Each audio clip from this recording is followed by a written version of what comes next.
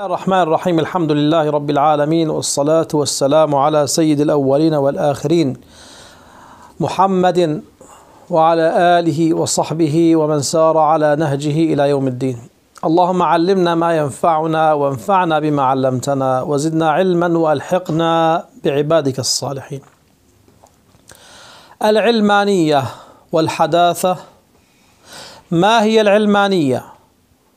لعل كثيرا من الناس لا يفقه من العلمانية إلا أمرا واحدا هو فصل الدين عن الدولة فهل العلمانية هي فصل الدين عن الدولة؟ الحقيقة قرأت للإجابة عن هذا السؤال ربما آلاف الصفحات فوصلت إلى نتيجة تقريبية مفادها أن العلمانية ليست فصل الدين عن الدولة إنما العلمانية هي نسبية الحق. إنما فصل الدين عن الدولة فرع ونتيجة للعلمانية. الدولة التي تحكم بالدين ترتكز إلى مبدأ الحق الحق المطلق. الله سبحانه وتعالى.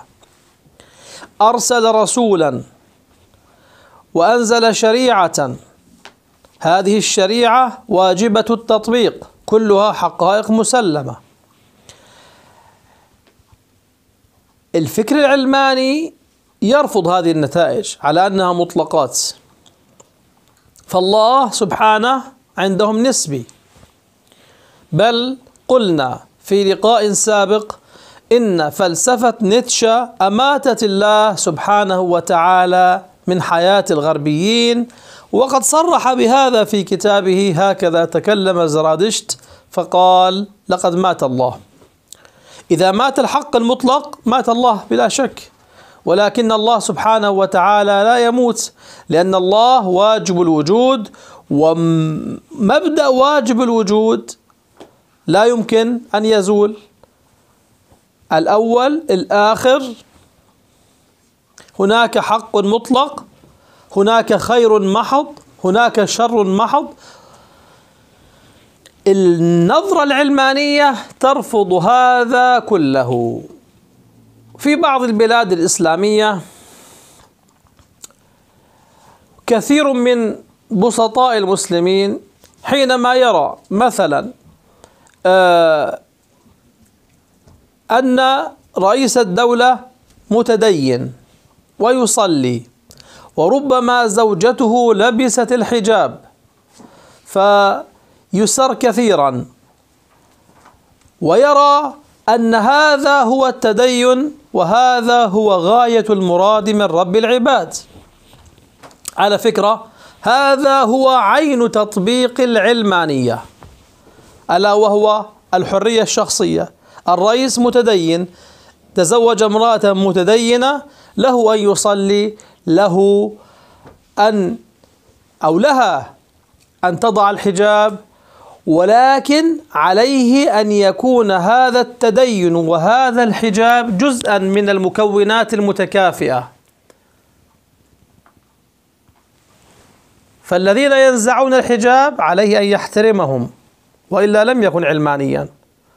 لأنه ما هي العلمانية؟ قلنا هي العندية. العندية عندي كذا وعندك كذا. طب هل يوجد حق ثابت في ذاته؟ لا. عندهم. إنما الحق نسبي. كيف يعني نسبي؟ كما تحب. ولذلك أعرضوا إعراضا كليا. في عصر الحداثة أعرضوا تماما عن سؤال لماذا؟ لأنه سيوصلك إلى الحق. وإلى قانون السببية. وقانون السببية قانون حتمي قطعي لا محالة. فإذا سأل لماذا يعني ما السبب؟ اذا هذا الكون له مكون. هذا لا يعنينا.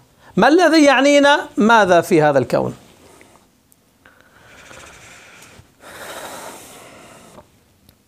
إذا دام إذا كان هناك خالق سبب إذا هذا سبب قطعي. هذا الخالق أوجدنا لحكمة يعلمها. أمرنا بأوامر مطلقة نهانا عن نواه مطلقة. وأرسل رسلا بلغوا ذلك. إذا يجب علينا أن نلتزم بهذا الكلام. إذا لم نعد أحرارا ولم نعد علمانيين. فالعلمانية هي نسبية الحق. يعبر عنها الفكر الإسلامي بقوله تعدد الحق في العقليات مرفوض. القضايا الدينية نوعان. العلميات وتسمى العقليات. العمليات وتسمى وتسمى الظنيات. العلميات القطعيات العقليات أسماء لمسمى واحد وهي الأشياء التي لا يقبل فيها التنازع. الله موجود أو غير موجود؟ أن يكون كل من الإجابتين صحيحة هذا مرفوض لأنه يؤدي إلى الجمع بين النقيضين وهذا محال عقلي. وجد متعدد أم مفرد؟ ان نقبل التعدد مع الإفراد مع التثنية وأن نصوب الجميع محال عقلي لأنه يؤدي إلى اجتماع النقيضين. واجتماع النقيضين محال عقلي. اذا نختلف. الله موجود احتمال. غير موجود احتمال ثاني. وجد متعدد احتمال. مفرد احتمال. غير موجود احتمال. العلمانية تقول هذه إيمانيات. افعل ما تشاء. تختار واحد من الإجابات فأنت مصيب. فلماذا تتنازعون؟ لماذا يقتل بعضكم بعضا؟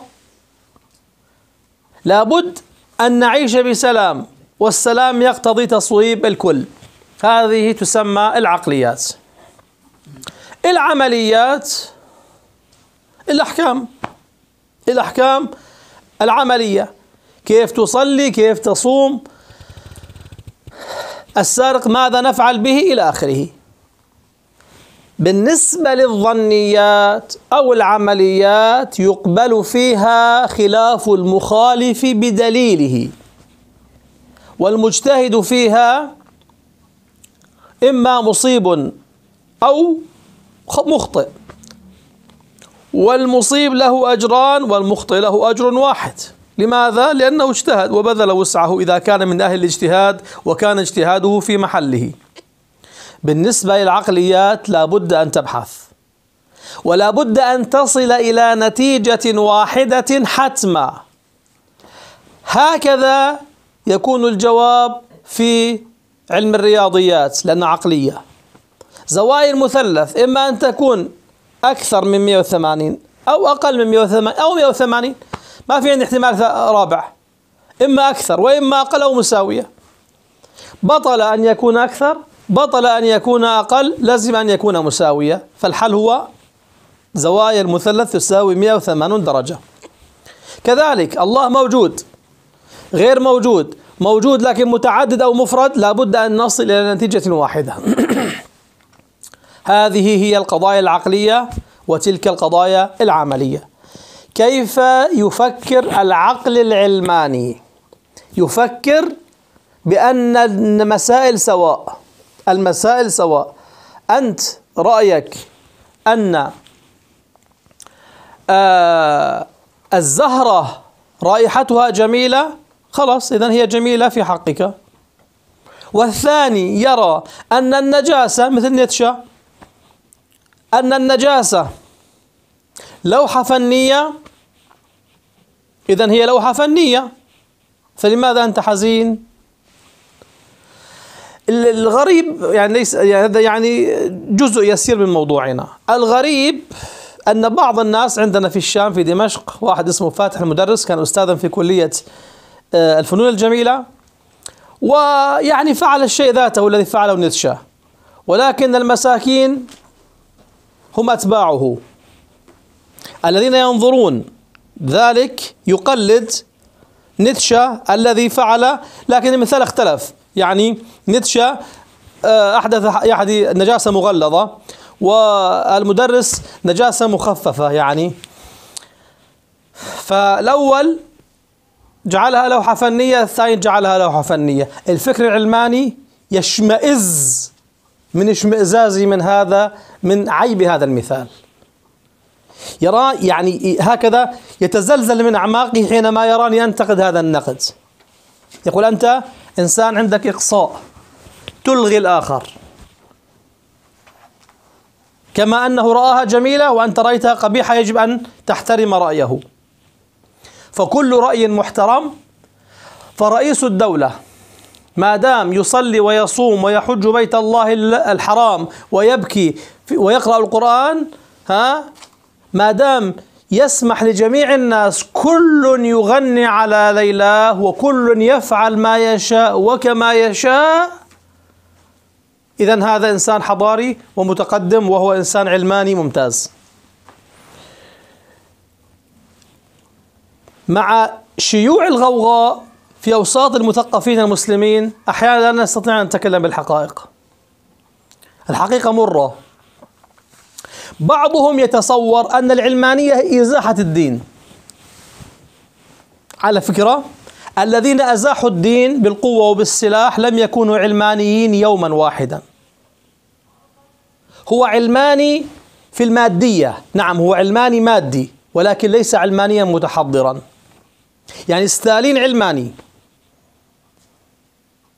آه هتلر علماني.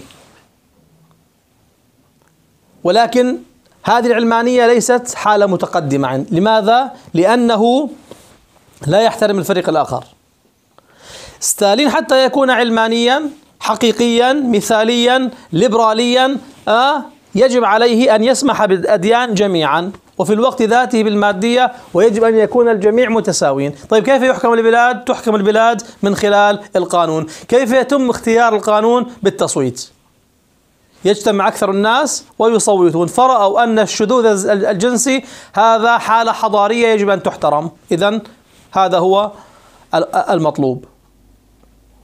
رأوا غير ذلك؟ إذا هذا ما صوت به الأكثرية. طيب السؤال الذي يطرح نفسه طيب لماذا تفرض رأي الأكثرية على الأقلية؟ أليست العلمانية هي التكافؤ في الأقوال؟ صوت مجلس الشعب بنسبة 49% على إجازة مثلا بنسبة 51% على إجازة قانون معين وليكن الشذوذ الجنسي. أجازوه. طيب 49% هؤلاء حصل إقصاء لقولهم حصل إبعاد. فينبغي إذا لم لم يحصل تحضر ولم يحصل تكافؤ في الأقوال والآراء. إذا العلمانية باختصار شديد هي تعدد الحق في العقليات في النظر الإسلامي. تسمى في الاصطلاح الفلسفي الحديث نسبية الحق. فالحق كله نسبي لا يوجد حقيقة مطلقة فكل محتمل. عالم السياسة في العالم محكوم بهذه بهذه النظرة. كثير من المحللين العرب وغير العرب والمسلمين يقول أمريكا لماذا تكيل بمكيالين؟ هو لا يفقه أمريكا ولا يعرف كيف نشأ العقل الأمريكي. أمريكا إذا لم تكل بمكيالين لن تكون علمانية. لماذا؟ لأن هذا الفلسطيني المسكين المظلوم. يعني مسكين مظلوم عندك أنت. آه. وعندي أنا الأمريكي ليس مظلوما بل هو إرهابي يجب إزالته. وحينما يأتي واحد من المتطرفين ها آه النصارى ويقتل عددا من المسلمين يتعاطفون معه. كيف تتعاطفون معه؟ وحينما يأتي مجرم من المنتسبين للإسلام يفعل الشيء ذاته تقوم الدنيا ولا تقعد. هذه عقلية العلمانية الفرنسية. هذه هي العلمانية الأمريكية نسبية الحق. يا أخي لأنه لا يوجد حق ثابت. الحق يتغير يتعدد على حسب المصالح. هذا في عالم السياسة في عالم الإعلام. أشهر قناة عربية حينما جاءت إلى بلادنا ورفعت لواء الرأي والرأي الآخر. وقامت بعدة برامج. تعتمد هذه البرامج على إثارة الأفكار المتخالفة بشرط أن لا يلتقي كل من الفريقين. حوار الضدين إلى الأبد. لا يمكن التسوية ولا الجمع. ولذلك إذا ما حصل اتفاق بين الفريقين ها المسعر للبرنامج لا يرتاح لابد ويغضب ولا يستضيف ذلك الإنسان الذي سعى باتجاه الطرف الآخر.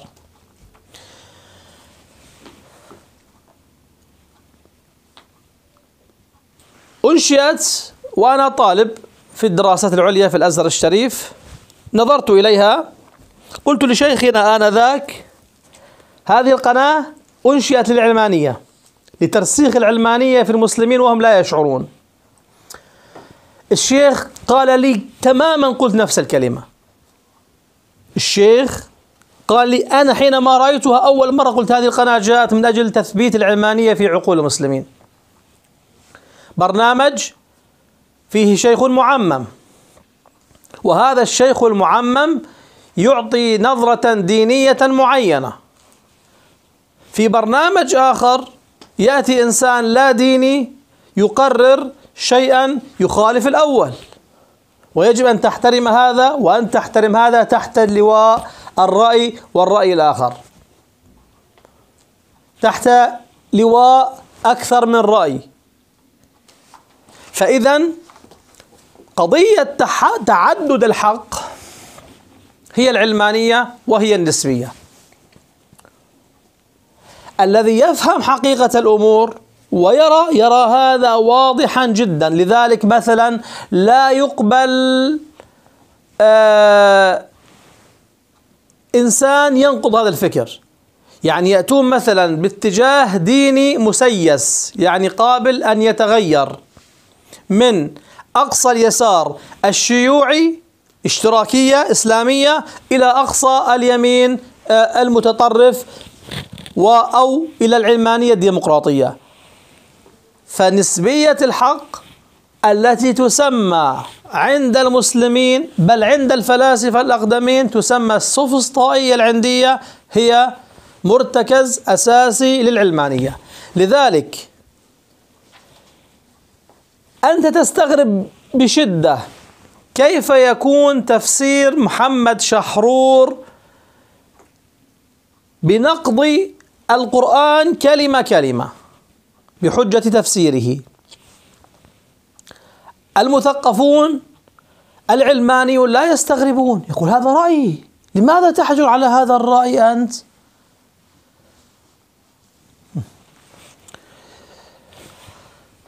هذه السوفسطائية الريبية كانت هي الفكر المسيطر في مرحلة ما قبل سقراط وأرسطو. في التاريخ القديم كانت هكذا. وجاء هؤلاء الناس لضبط تلك الأفكار. من أجل هل الحقيقة ثابتة؟ ما هو معيار إثبات الحقيقة؟ قام علم المنطق من أجل هذه الأشياء. ولذلك مع الريب لا يوجد منطق. لماذا؟ لأن كل شيء عنده ممكن. يقول ها النار تحرق أو لا تحرق؟ ثلاث مذاهب. العندي يقول عندي محرقة وعندك غير محرقة وعند الآخر وسط. دافئة لا تحرق ولا ولا ها. العنادي يقول لا لا أنكر أنها تحرق وأنكر أنها لا تحرق. يعاند كل شيء. إلا أدري يقول لا لا أدري لا أدري. تسخرون وتضحكون خاصة في المدرسة الإسلامية من هذا التفكير. هذا الآن كبار أساتذة الجامعات في الرياضيات وفي الفيزياء وفي الفلك في أوروبا وفي أمريكا كثير منهم على هذه العقلية عقلية اللا أدرية. أما العندية فحدث ولا حرج. طيب السؤال هنا بسيط. قد يسأل سائل لماذا لا يكون هؤلاء على الحق؟ ما دام عندي وعندك وكذا لماذا لا يكون التعدد في العقليات؟ أعطيك مثالا بسيطا يحل المشكلة. لعلي ذكرته سابقا. هذا المثال أنك في رصيدك مئة ألف دولار لواحد من هؤلاء الناس. ف وجد الرصيد قد ذهب بالكلية. مقتضى التفكير الذي لا يحكم العقل ولا يعترف بقانون السببية أن يقول ماذا؟ أن يسكت. لأن هذا ذهب بلا سبب وينبغي أن يسلم كما أن الكون خلق بلا سبب. الكون وجد بلا سبب إذن هو ينبغي أن لا يحزن. طيب سار قليلا نقول لا في سبب لكن السبب نسبي من شخص إلى شخص. ذهب إلى موظف البنك. لنفرض الآن أن موظف البنك من آه، الطائفة آه، العندية. فيقول له أنا دخلت ها في حسابي فلم أجد شيئا. يقول نعم أنت دخلت في حسابك فلم تجد شيئا لكني أنا دخلت فوجدت الرصيد لا يزال كما هو. يا أخي أرني. ينظر في حسابه بالجهاز أمامه ها وكي ولا يوجد شيء. قال كيف لا يوجد شيء وأنا عندي موجود كل شيء؟ هذا هذا سيصل حتما إلى القتال. بعد حتما سيقتتلان يعني أنت تنظر في حالة موظف مع مدير مع موظف بنك مع مع مع مراجع لكن دولة مع دولة لابد أن تصطدم. لابد أن تصطدم يعني لابد. لذلك هم ألفوا كتب صدام الحضارات وصراع الحضارات وأشياء من هذا لأن النتيجة ستكون إلى هذا. هذا إذا كان قال آه ذهب إلى احتكم إلى مدير البنك. مدير البنك ماذا قال؟ قال لا. أنت خطأ كان عناديا. ها؟ أنت خطأ وهو خطأ. الرصيد ليس موجودا وليس مفقودا. أنكر أن يكون موجودا وأنكر أن يكون مفقودا.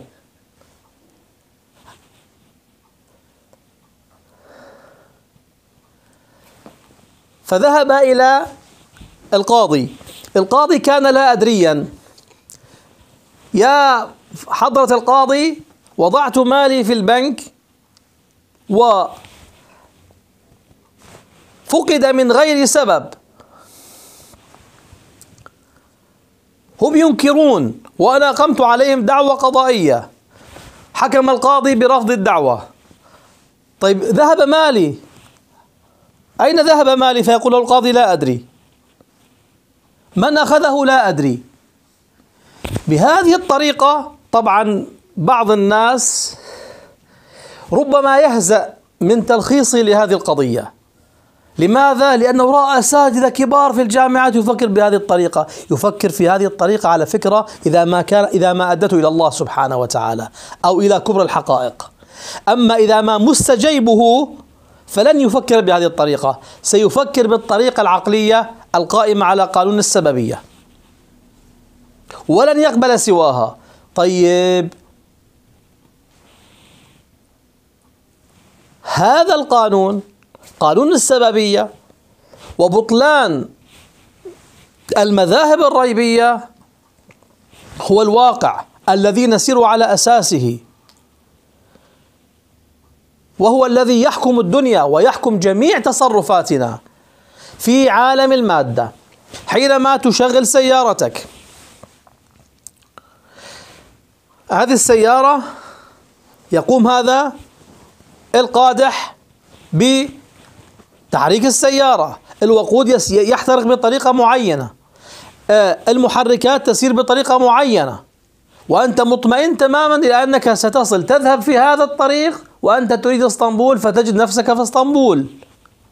تسير على قانون واضح في السببية. لو كانت تلك المناهج هي الحاكمة لا. شغل السيارة مرة فوجدها تطير. وشغلها مرة ثانية فوجدها تغوص في الأرض. وشغلها مرة ثالثة فوجدها تتبخر. أو ذهب إلى اسطنبول فوجد نفسه في بورصة. هم يطالبون أن نحكم في عالم الأفكار بما يخالف المواد وبما يخالف القانون الذي يسيرون عليه. فالنسبية المطلقة رمز أساسي من رموز من الرموز التي ترتكز عليها العلمانية وليست العلمانية هي فصل الدين عن الدولة. طبعا هناك أشياء كثيرة تمثل منهجية العلمانية لكن أساس هذه القضية هي النسبية المطلقة وعدم ثبوت الحق. قلت لكم لعلي في لقاء سابق من أين جاءت أشعار أمثال نازك الملائكة؟ طبعا تقليد أعمى. كما أن فاتح المدرس يقلد نيتشا كذلك نازك الملائكة تقلد آه، فيلسوف الدادية دازم كيف؟ أتى بأسطر من الجريدة هو ألماني في الحرب. وقص كل سطر على حدة.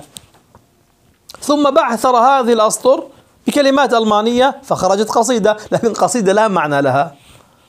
قصيدة حتى كلام الحشاشين لا يكون كذلك لأن كلام الحشاشين فيه لمسة من عقل لأنه في بقايا العقل طيب ثم يقول هذه قصيدة جاءوا يترجمون إلى العربية أشياء من هذا القبيل ويقول هذا أدب فني وهذا شيء راقي جدا جدا لماذا؟ لأنه قائم على اللا عقلية القائم على مبدأ النسبية كيف تقبل قصيدة أبي تمام والمتنبي وأبو العلاء وتطرب لها؟ ها؟ هذا كلام. وهو جميل عندك. إذا هذا الكلام الذي جعلته مبعثرا وكذبته أمثال نازك الملائكة ينبغي أن تطرب له. لماذا؟ لأنه شيء نسبي. فالعلمانية هي النسبية حتى تفهم كيف يتعاملون مع كتاب الله ومع سنة رسول الله صلى الله عليه وسلم بنفس الطريقة التي يحكمون فيها. وآخر دعوانا الحمد لله رب العالمين. وصلى الله على سيد الأولين والآخرين محمد وعلى آله وصحبه. ولا حول ولا قوة إلا بالله العلي العظيم.